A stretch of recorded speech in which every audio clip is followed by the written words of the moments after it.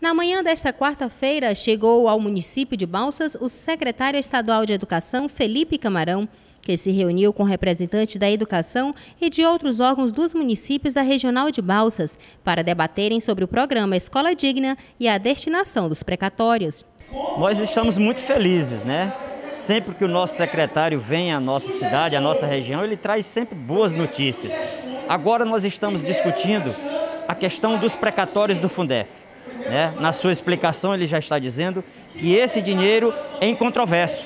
Ele cairá brevemente na conta dos estados. E que o Estado pretende aprovar uma lei né? Para quê? Quando esse dinheiro cair na conta dos estados, do estado do Maranhão, 40% seja em aplicação em infraestrutura e os 60% rateados entre os professores. Então, é um dinheiro maravilhoso, é uma quantia vultuosa, são quase 4 bilhões de reais e nós realmente precisamos fazer esse debate. É salutar que nós conheçamos essa questão dos precatórios. Alguns secretários municipais de educação também estiveram presentes, como o de Balsas, que falou da importância da vinda do secretário estadual a Balsas e também falou como está o andamento dos precatórios aqui no município. No município de Balsas a gente recebeu valor dos precatórios, dividimos em duas contas, o que é 60% dos professores e o 40% está em outra conta para que a gente faça investimentos. Mas a gente precisa que esse 60% que é de direito dos professores, exista uma lei regulamentando como fazer essa divisão e libere esse recurso para que a gente amanhã, se for possível, pague os professores.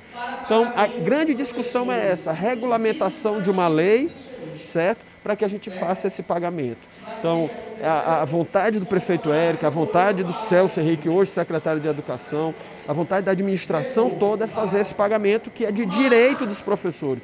Mas a gente precisa estar segurado por lei, porque se a gente pagar de uma forma irregular, isso caracteriza improbidade administrativa. Mas a gente acredita que logo, logo saia e a gente consiga fazer esses pagamentos para os professores que tanto merecem. Na oportunidade, o secretário Felipe Camarão veio aos estúdios da TV Boa Notícia, onde cedeu uma entrevista ao vivo no JBN, falando sobre a escola digna e os precatórios. Flávio, o governador Flávio Dino, já desde o seu primeiro dia de mandato, tem buscado melhorar as condições das escolas, da rede estadual, valorizando professores, fazendo bons investimentos com o programa Escola Digna. E nós temos conseguido, mas é aquela história nós não conseguimos fazer tudo. Fizemos muito, estamos no caminho certo, mas ainda falta fazer um pouco mais. Qual é a sorte que vai ter o próximo governante do Maranhão?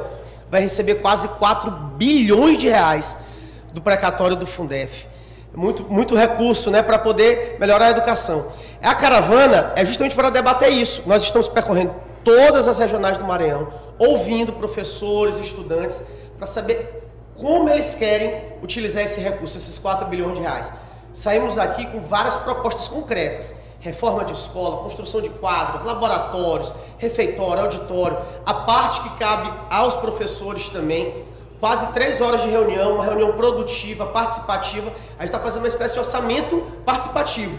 E a nossa intenção é que, portanto, o programa Escola Digna não só continue no estado do Maranhão, como ele seja melhorado, incrementado. Nós tivemos mais de 400 pessoas debatendo, professores, gestores, estudantes, tanto da rede estadual, como alguns também da rede municipal, a presença de prefeitos, secretários municipais de educação.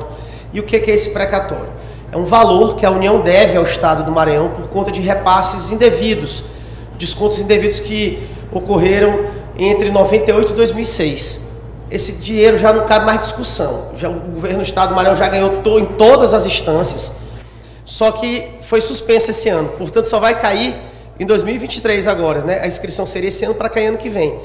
E, como eu disse, são quase 4 bilhões de reais. Desse recurso é o seguinte, 60% deles, ou seja, 2,3 bilhões de reais, é, serão repartidos entre os profissionais da educação, professores, professoras, servidores administrativos, o que vai fomentar inclusive a economia local, porque o professor, a professora, quando receber esse recurso, vai reformar sua casa, né, vai comprar um carro, vai gerar emprego e renda.